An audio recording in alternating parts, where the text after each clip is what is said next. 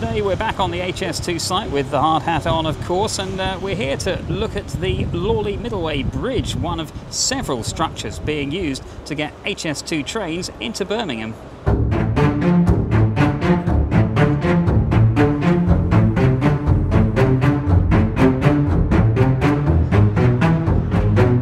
Weighing in at over 1,600 tonnes, this massive structure will carry high speed trains across one of Birmingham's busiest highways.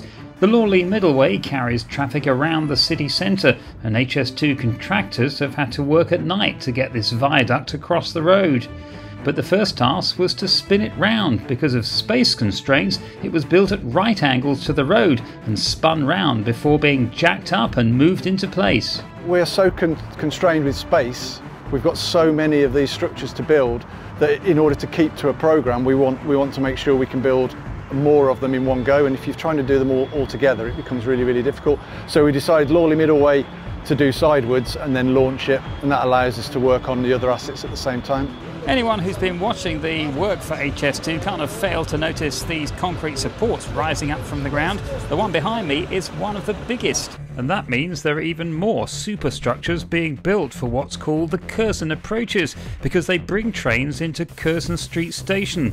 This is the station site, although there's not much to see at the moment, soon the station will rise up from the ground. You, know, you look at this, this is 1600 tonnes is a superstructure, but you know, behind that one is another 4,000 tonne superstructure, behind that is another 7,000 tonne superstructure, 1.6 kilometres of viaducts as you come into Curzon Street. Uh, and uh, you know, when you when you start to see it, you know, a lot of people talk about coming on the train and starting to see things things really, really grow now. So it's, it is a really exciting part of um, High Speed 2.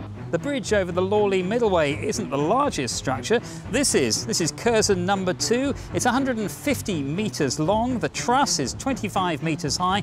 And when it's complete, it'll become a new landmark on Birmingham's skyline.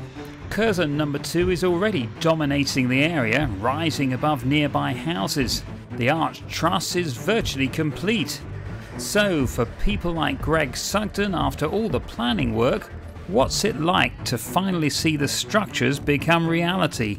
Even today, it's been a bit of a wow day when you actually start, start to really look at it across, um, you know, actually across the road. You can start to see the, the, the size of what what this is going to look like when we're um, when we're fully constructed and we're bringing those trains in. So yeah, it's really really good. It's really really um, motivating and heartening to see that we're getting to that point like or loathe the idea of HS2, looking at what's being done on the ground close to Birmingham city centre, and you can't fail to be impressed by what's being achieved by the various contractors.